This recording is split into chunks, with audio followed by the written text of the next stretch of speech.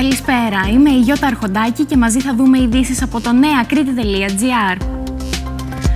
Αιματοβαμένο ήταν το φετινό Πάσχα για την Κρήτη, αφού δύο άνθρωποι χάθηκαν στο βωμό της ασφάλτου μέσα σε λιγότερο από ένα 48ωρο. Τελευταίο θύμα, ο 62χρονο Σταύρος Τζανάκης, πατέρας τεσσάρων παιδιών, που άφησε την τελευταία του πνοή στο δρόμο και σήμερα συγγενείς και φίλοι λένε το τελευταίο αντίο.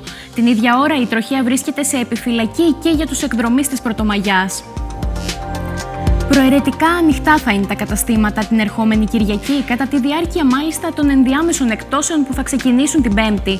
Πάντως, φέτος οι καταστηματάρχες έκαναν ανάσταση αφού είδαν τον τζίρο τους να ανεβαίνει έως και 20%. Όλη η εγχώρια showbiz παρέλασε στην Κρήτη για τις πασχαλίνες διακοπές.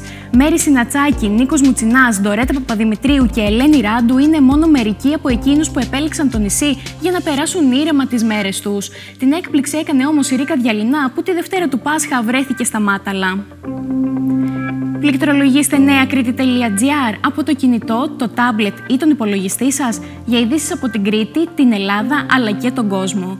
νέακρήτη.gr Η ενημέρωση στα χέρια σου.